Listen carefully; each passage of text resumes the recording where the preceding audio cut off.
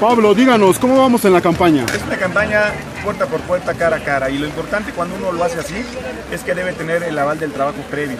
Porque si uno no ha cumplido, si uno no ha estado cerca de la gente y viene una campaña de esta característica, lo que va a encontrar son reclamos. Nosotros lo que hemos encontrado son expresiones de solidaridad, de reconocimiento, también de, en, su momento, de claridad de las cosas que faltan por hacer, esto también es cierto. Pero yo jamás he prometido tener varitas mágicas. Soy un agente de resultados, de trabajo que se entrega a la comunidad y que no quiere hablar solamente por sus dichos, sino que hablen nuestros hechos, nuestros resultados. Mira, es que no hagas No, tanto bueno. tiempo. Hace muchas milanesas que no te vistes por acá, pero Bueno, pues así es la cosa. A ver cuándo nos invitas después de la campaña, porque ahorita estamos muy ocupados todo el día visitando a la gente y haciendo nuestras propuestas. ¿eh? si ya te vi bien aplicado a golpe de calcetín recorriendo todo el distrito 19. De hecho, ya le, estamos en la segunda vuelta porque ya le dimos un primer recorrido a todas las 188 secciones que tiene Tlanepantla. Estamos en la segunda visita a cada una de las secciones.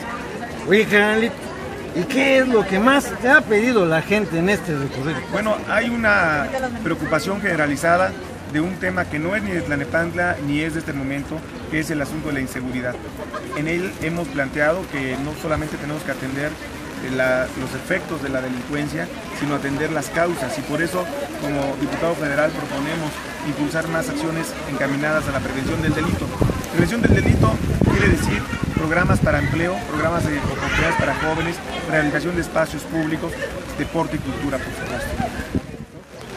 Hola amigos de Notíteres, nos encontramos aquí con la senadora María Elena Barrera.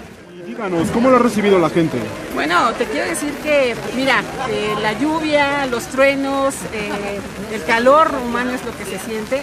Podrías dar un vistazo, verás miles de sombrillas aquí puestas porque todos caminando con la voluntad de seguir a quien le ha dado una extraordinaria respuesta, de seguir a su candidato, a Pablo Basáñez. Estoy muy orgullosa del trabajo que viene realizando. Muy bien, muy bien. ¿Cómo está, que tenemos.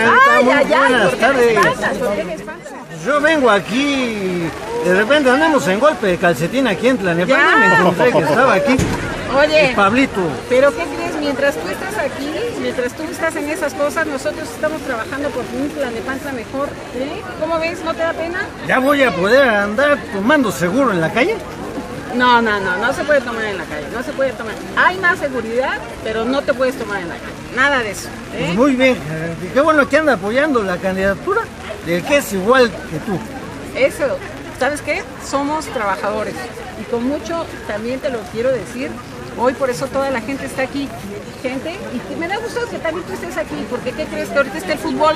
Entonces me da gusto que, aunque ya vienes medio a medios chiles, a- así viene, ¿eh? Viene a medios chiles.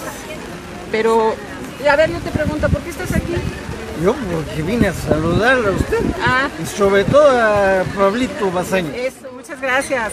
Hermanos de Tlanepantla, pues esta es una entrevista muy peculiar, pero además no quiero perder la oportunidad de decirles que este 7 de junio hay una gran oportunidad de continuar con el gran trabajo que ustedes vienen viviendo, porque estoy cierta que Denise Galvez será su presidenta municipal y continuará el trabajo del hombre que hoy es su candidato a diputado federal, de Pablo Bazañez, porque vamos a ganar.